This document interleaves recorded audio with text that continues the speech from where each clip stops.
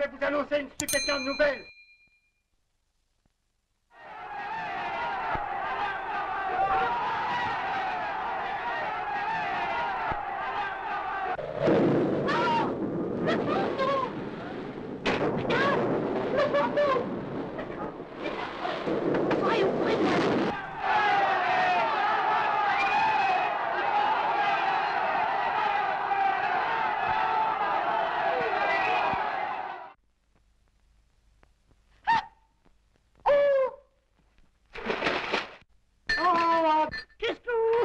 Williamson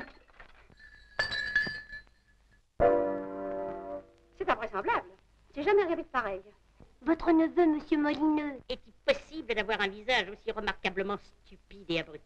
Irwin Molineux, mon distingué cousin, est l'auteur d'un remarquable ouvrage sur le mimétisme du mimosa. Un pareil scandale éclatant dans une famille aussi respectable que la nôtre. Mais je n'ai rien à vous cacher. Je suis William Krams, le tueur de boucher. Là où il y a contrepoison, il y a poison. Encore du lait, toujours du lait, partout du lait. J'ai une passion pour les animaux, tandis que les bouchers, eux, ben, ils les tuent, les animaux. Alors moi, je tue les bouchers. Dormez, dormez, petits moutons.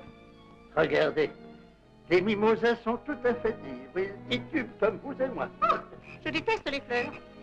Le moindre bouquet de violettes me donne la nausée. Aimez-vous les fleurs, Daisy Les fleurs? Oh, je les adore.